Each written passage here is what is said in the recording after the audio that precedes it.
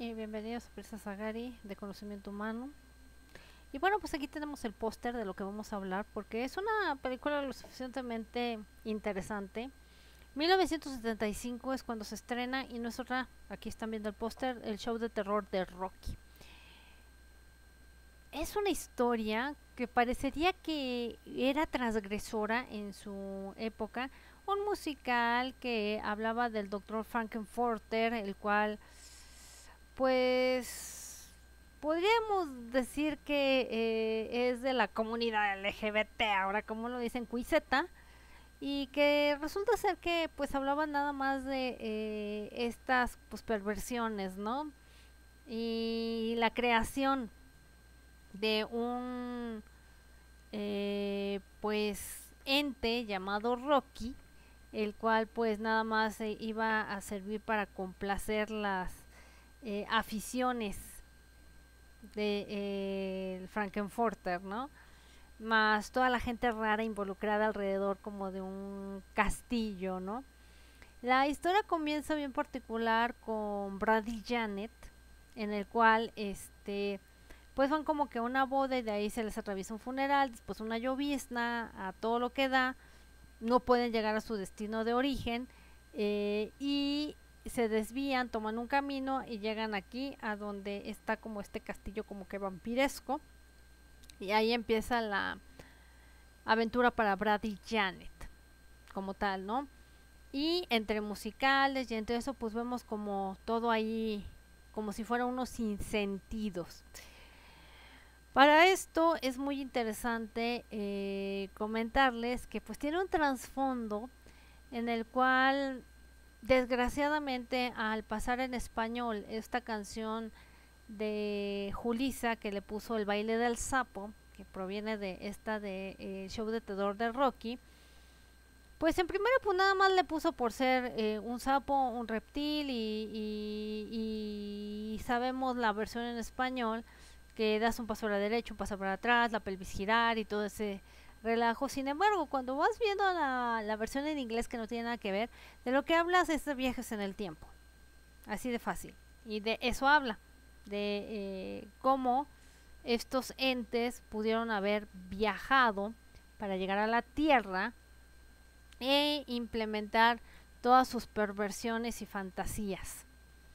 Y a través de esto también cómo este, crean a, a Rocky más aparte, pues que también estos que no tienen mm, humanidad alguna, por llamarlo de algún modo, eh, tienen cosas particulares eh, entre, eh, entre esto, pues vemos muchas cosas, muchos simbolismos y donde nos está advirtiendo este cuate de que pues existen entes no humanos que le encanta jugar con el ser humano y activar las perversiones más perversas.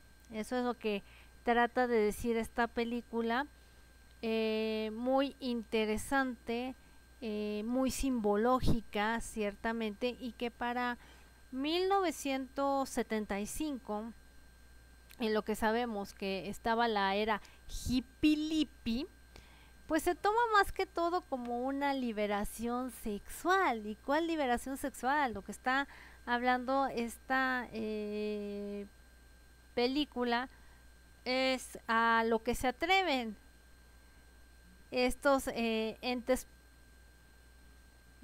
que hablan de perversiones eh, sexuales de toda índole, de un meterse un todo contra todos, y que como Frankenforter es este un personaje pues descarado, eh, un personaje valemá, este, un personaje que tiene eh, todos estos eh, pues intenciones de, de, llevar toda clase de perversiones porque también vemos cómo es el temperamento de Janet, cómo es el temperamento del marido y que, que los tratan y que pudiera ser que ahorita eh, podríamos usar la palabra de mojigatos cuando no es que sean mojigatos, lo que pasa es que eh, ellos tenían otra concepción de lo que es este el amor, lo que es una pareja, estar casados,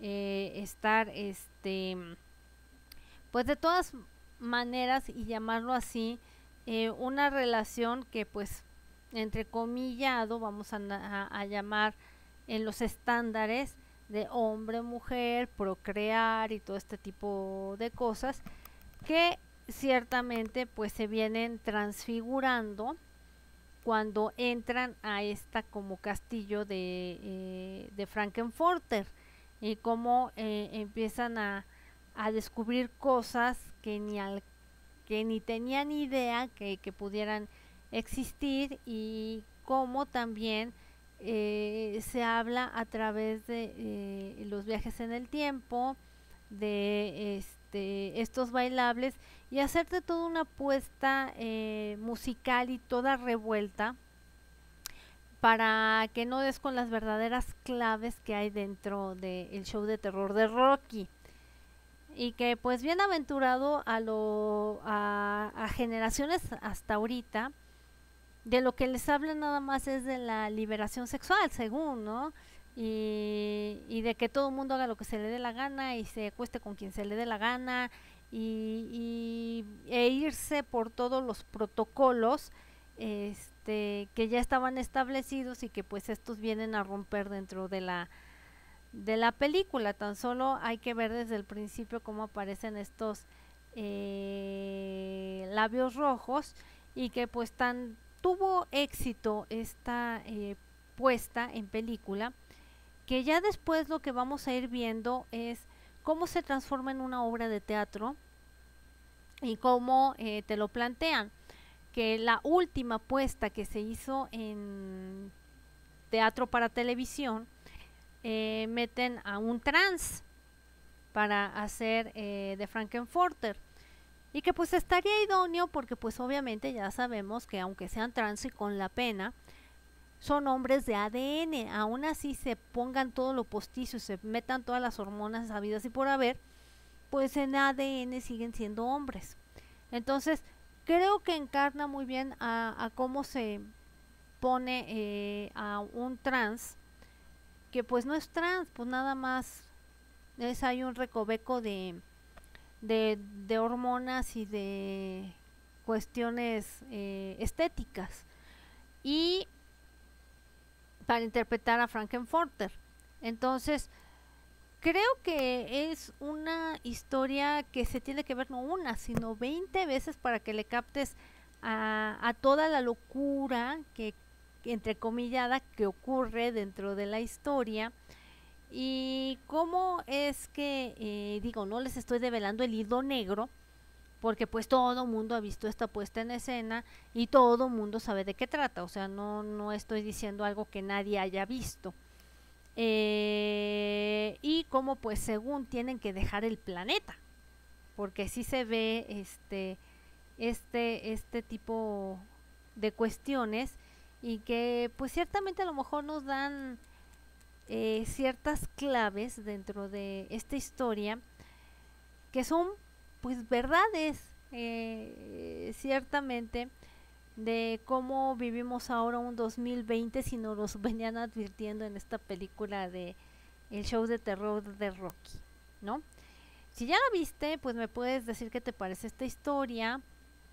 Este, me puedes dejar tu like, tu comentario, inscribirte, darle clic a la campanita, gracias a la gente que se está inscribiendo, porque aquí estamos viendo el lado B de las cosas o el lado por detrás de lo que sucede en estas puestas en escena. Y también gracias por estar viendo lo de las noticias. Eh, les digo, va a haber investigaciones, que a lo mejor les va a gustar el asunto. Y bueno, por mi parte es todo. Esta fue Prisa Sagari. Y sí, te la recomiendo para que no la veas una ni dos, sino que le des vueltas y vueltas y vueltas y vayas sacando tú tus conclusiones de que va más allá de lo que es la perversión. Por mi es todo y que tengas buena tarde.